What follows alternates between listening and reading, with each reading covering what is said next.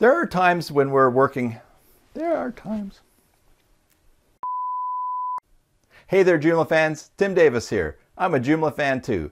Thanks for joining me on CyberSalt's journey into getting more enjoyment and success using Joomla. Today, I'm not coming to you from Boston, though one more shout out to Julius Jashumba, who is from Boston. There are times when we're working on our Joomla sites and we may be emptying the Joomla cache over and over and over again to check on changes we're making in the front end of the site, maybe to a template, maybe to article layout, or a number of other things.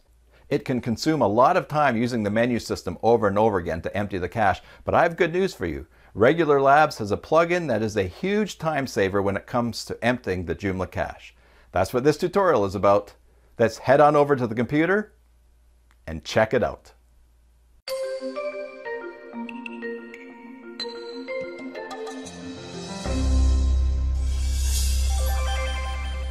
Now, a quick word before we get started. I hope that you'll subscribe to the channel and ring that bell for notifications because it will let you know when there's new tutorials posted, but also let you know when there's a live stream. I'm hoping to do some live streaming to give us a little bit more of a one-on-one -on -one communication, maybe answer some questions and see where that takes us. So subscribe and ring that bell, please. So we are looking at this cache cleaner plugin from Regular Labs. We're logged into the back end of the basic Joomla site. One of the sites I have in basic Joomla, this site I have just for free extensions because there is a free and a paid version of this plugin and today we're going to look at the free version. Logged into the back, we want to install it and to do that with Regular Labs, you want to go to Components, Regular Labs Extension Manager. Now, if you don't already have the Regular Labs Extension Manager, here's let me log in again, what you want to do is go to Regular Labs, download it, and install it. And I have a tutorial on doing that. I'll put a card up here in the page at this point and include it at, in the end screen cards as well. So when we go to Regular Labs Extension Manager, we're going to go down to Cache Cleaner and Install. Click on Install, click Start. Once it's installed, we get this message here, clear your browser's cache and we can click on the System Plugin button. That takes us to the System Plugins, and we just need to filter for word cache. Once that comes up, it's System Regular Labs Cache Cleaner that we want to do the setup for. And here are the settings. Purge cache, yes. Clear the expired cache, the update cache, the uh, OP cache. I don't even know what the OP cache is, but I purge it. And uh, if you want to clean the cache ever by using the front end of your site, you can put a front end secret word in this field and just add it to the end of this URL, of course, changing your domain to whatever your domain is. Now, in this next setting, automatic cleaning on save, if I turn this to yes, which I always do using this, anything that you do in the back end of the site that's listed down here, clean on tasks, so that save, apply, apply, publish, unpublish, other things. Whenever you save an article, for example, it will empty the cache. That is really great because if you have just uh, made an edit to an article, you want to see the latest version, the cache gets cleaned, you're always seeing the freshest one.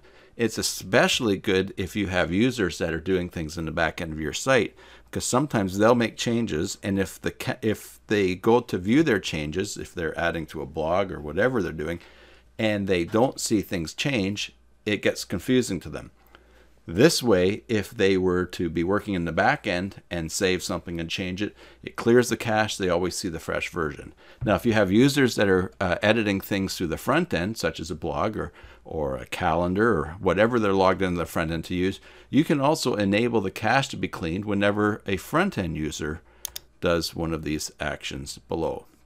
Now, show message here. This will show a message saying that the cache has been cleaned and what size the cache was. The default for the administrator when it's enabled is yes, and for the front end, it's no.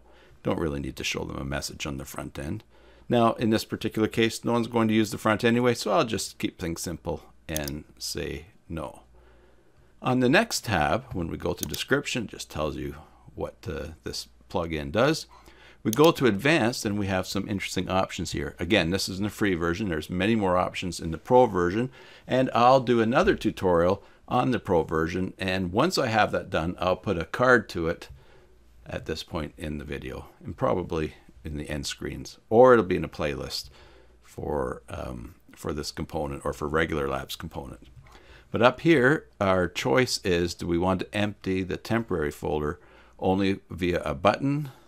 Yes, we want to empty it, or no. And this is when things are saved. So I'm going to say yes, we want to empty the temporary folder uh, when things are saved, which would go back to this setting back here, automatic cleaning on save. Let's click back to this advanced tab. And now at the bottom here, do we want to show the size of the cache when it was deleted? That's just preference for you.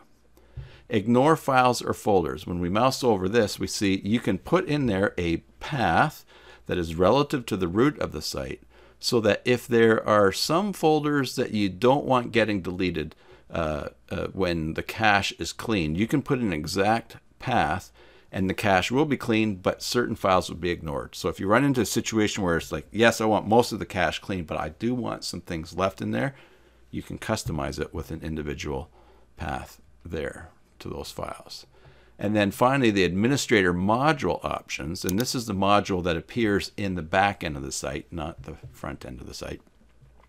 You can display an icon only for deleting the cache, text only, or both. And we're going to see when we save this that that, that, that uh, icon and text, which I'm going to leave selected both, will appear up here.